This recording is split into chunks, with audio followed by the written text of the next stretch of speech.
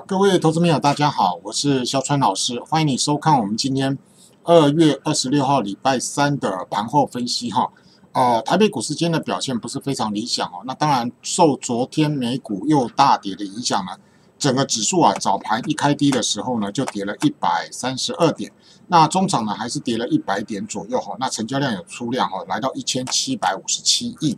那整个指数呢到目前为止来看还是维持在整个。半年线的附近去走区间。那我们今天在盘中的时候呢，在我们这个 Live Edge 里面哈，这是新版的 Live Edge 哈。因为三月起，我们盘中呢会用三到五分钟的时间，用影音解盘的方方式呢，以及标股的介绍呢，在这方去跟大家做解盘，或者是介绍整个个股的一个走势哈。所以呢，如果说你还没有转换到我们新版的 Live Edge，欢迎各位哈，赶快把它转换过来哈，因为 Live 三月份要收费哈。那我们今天的题目呢是三月第一档潜力股在哪？那待会我们去跟大家介绍哈。那我们把整个思考逻辑呢跟大家去做一个分析哈。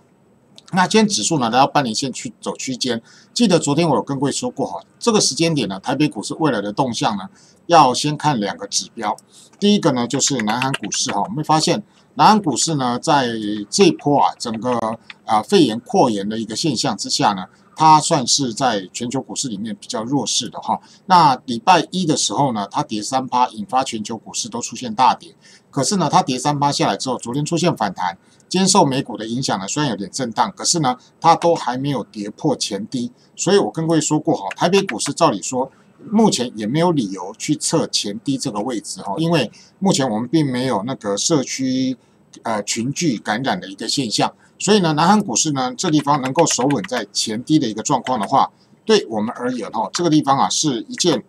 呃，算是一个有一个具有一个强力的一个支撑。那到底台北股市三月份有没有机会继续再反弹呢？那这里呢还有一个重点，就是在新台币的汇率哈，我们稍微看一下，今天新台币的汇率呢，从早盘出现贬值之后呢，盘中是出现升值，那目前在下午盘的时候呢，也是回升的一个情况。那这波整个新台币汇率呢？它并没有让我们看到 贬破半年线，所以呢，连续这三天的一个贬值啊，那当然也造就了整个台北股市呢出现一个比较明显的一个拉回哈。那如果说新台币汇率能够维持升值的话，对台股而言呢，外资的卖压就会比较偏减轻的一个状况。所以呢，未来这几天的时间点呢，要注意一下新台币的变化。如果新台币汇率呢贬值去破半年线的话，那可能台股的压力就会加重，那那到时候呢，这个地方台股就会去测前低。那如果说没有这个现象的话，新台币汇率如果能够稍微维持一个呈现一个比较稍微偏深的情况，那当然对台股三月份的一个反弹是非常有利哈。那当然，美国股市呢这几天呢是出现大跌。我在盘中的时候，我们在拉一子里面有跟各位去做分析哦，说美股呢在这波的走势里面，我们会发现到每次打到年线位置区或者是破年线。这地方都会有一个急速的一个反弹的一个走势，所以当美股急跌之后呢，如果说再破年线的话，这个地方它会有一个急弹的一个机会。那如果说美股呢这波是慢慢跌，我觉得对台股的压力就很重。那既然它是属于急跌的状况，就会依照过去的走势一样，如果说是破年线，这个地方这几天还有点震荡的话，因为它负乖离已经扩得非常的大哈，所以呢急跌会有急弹的一个机会。那如果说能够搭配着整个台股啊，到目前为止来看，守稳半年线，然后呢，月线的成本已经开始下来了。那如果说搭配着美股急跌的反弹，台北股市也会跟着弹。那这一波过年线呢，这地方不是什么年线，因为过月线呢月线已经不是什么压力哈。那到底反弹的空间能够有多大？接下来后面呢，就要去看什么？新台币汇率的变化，哈，所以呢，从整个韩国股市到新台币的汇率，到美股呢，如果说破年线出现反弹的话，这地方对三月份整个台北股市呢，这地方走反弹的机会呢，还是存在着，哈，所以呢，当然大家可能会受到肺炎的影响，压力比较重，但是我觉得台股目前就现阶段就这几个指标来看的话，台北股市也不需要太悲观，哈，那毕竟我们没有什么社区感染的一个现象，好，那如果说台北股市呢，在这个地方有机会。三月份出现反弹，那到底该怎么去操作哈？哦，我们之前在我们的 Line 里面哈，我们都有跟各位介绍个股。记得当初我们在介绍个股的时候，是从二月三号破半年线，我们就说那是低点。所以呢，那个时间点我们进场去做了两波的捡便宜的行的的活动哈。那第一波不管嘉联益、汉讯跟金展科都有两成以上的空间。那第二波我们捡便宜的行动呢，是从台盛科到高端疫苗呢，都有接近差不多三成左右的空间。那如果说反观整个三月份台股的走势，台股如果有机会出现跌升反弹的时候呢，而且月线已经不是压力的情况之下，那到底呢三月份的潜力股在哪里？好，三月份的潜力股在哪里？今天我们节目就介绍第一档潜力股哈。那在介绍第一档潜力股之前呢，我们先讲一下我们的思考模式哈。因为这次肺炎的一个情况呢，造成全球股市呢都出现都都有影响，甚至于呢，对于一些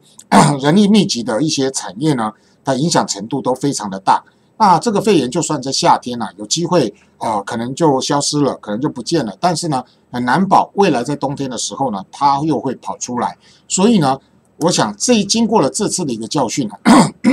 很多大厂呢一定会去思考一个方式，就是我怎么样让我的人力的一个操作呢，这个这个密集度呢把它减轻。也就是说，我尽量呢多用一些机器的设备，或多用一些机器人的一个设备呢，来去增加我的生产。把人力降最低。如果说一个机器呢，大概只用一一个，比方说一个人力呢，可以管了好几台的机器的话，那未来还有这个肺炎的状况发生，相信呢对公司的影响力会最小。所以呢，从这个角度里面，我们去思考一个一的的一个方向，选股的方向呢，我倒是认为啊，未来 有关工业电脑、工业设备或者是机器人的概念个股呢，它会是整个全球啊。一些很多大厂呢，他所思考的方向，或者是准备往这个方向呢去做一个操作。那如果说我们就从整个工业电脑或者是机器人设备这一块的一些个股来看的话，那我们今天介绍的第一档个股呢，它就是红海集团的工业电脑的龙头，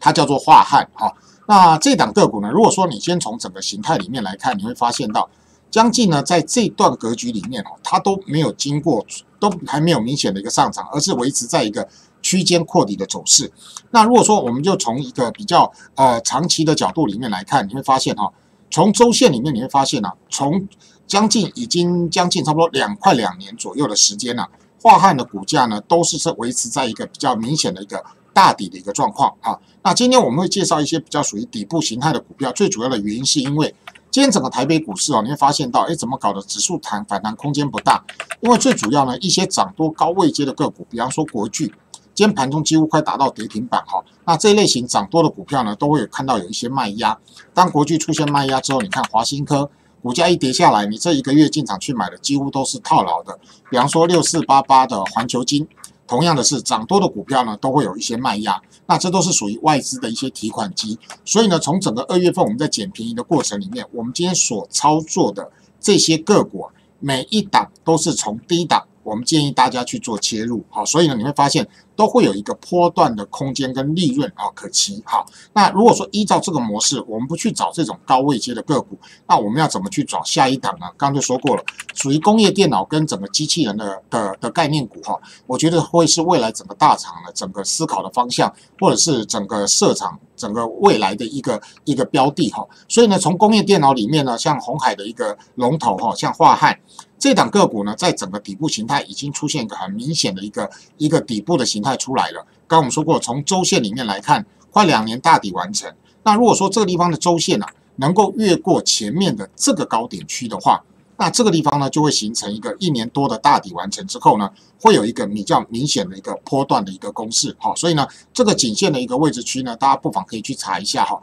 将近呢是差不多在二四零到二四一附近哈。所以呢，也就是说，华汉呢在今天整个股价里面收在二二八点五。那如果说近期的一个整理哈，就算说指数还在走震荡，它的整理呢也都在属于一个打底的一个位置区。那这档个股如果说能够过前高的话，会有个明显的一个起涨攻击的一个讯号。那这一类型比较属于书，像是工具机或工业电脑的一些概念个股、机器人的概念个股，我觉得在这次肺炎的一个影响之下呢，会是未来的一个趋势之一了哈。所以呢，我觉得三月份台北股市到底有没有机会出现反弹？刚刚我们已经说过了哈，这地方呢从新台币汇率，然后呢，再从美股破年线之后会有急弹的机会。台北股市的反弹它并没有结束，但是呢，在反弹个股里面，我们要怎么去操作低位接，而且呢是有潜力的个股？今天我们介绍第一档潜力股哈，六四一四的化汉工跟整个工业电脑跟机器人的概念个股是有关的。如果说你没有办法去掌握这些潜力个股的买点，